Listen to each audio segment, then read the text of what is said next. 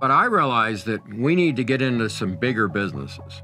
Right now, I'm going to tell everybody we're launching into, and we've already been several years in, we're going to launch in a full line of regulators. So we're going into the regulator business, and I've got a consultant working for me and the team, not for me. Nobody works for me, they work for the company. Uh, I don't like people working for me, I, I like them working for the company. But uh, Brad Knowles a um, very knowledgeable person in the regulator backflow business, is a consultant with me and has been for several years. And Brad has a tremendous background in backflow and regulators. So we're going into both of those businesses. So the launch of regulators will be this year, um, 2022.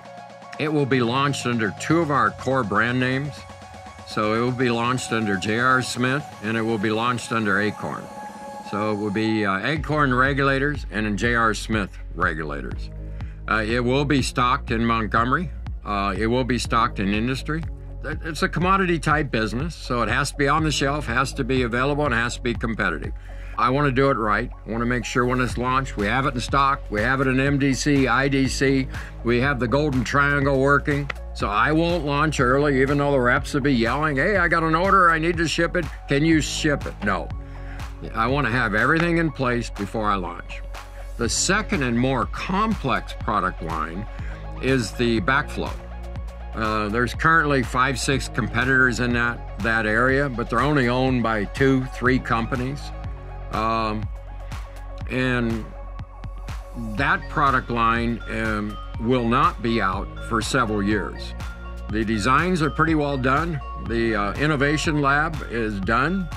Um, the testing's been done but we have approval process in those that industry is a long approval process several year approval process. It has to go through uh, what's called usc test lab. I'm a i have had an mba out of usc but it has nothing to do with the school part of it. It's a separate test lab. Um, and that's a couple year timeline so don't expect the backflow business that you're going to order from us anything in backflows for at least two more years two, two and a half years. So I'm going to launch two businesses at the same time. Um, Jim Graves um, in our uh, Chicago um, Innovation Center is responsible for the launch of the uh, regulator business, Jim and his team. So we've done a lot of engineering, we've done a lot of sourcing, and we'll have a full line of um, pressure regulators. Then um, Casey Hayes uh, as VP in charge of the backflow uh, uh, product line, along with Brad Knowles consulting in both the regulator and the backflow business. So I'm fortunate to get Brad. I'm fortunate to have Casey and Jim. They're both uh, engineers.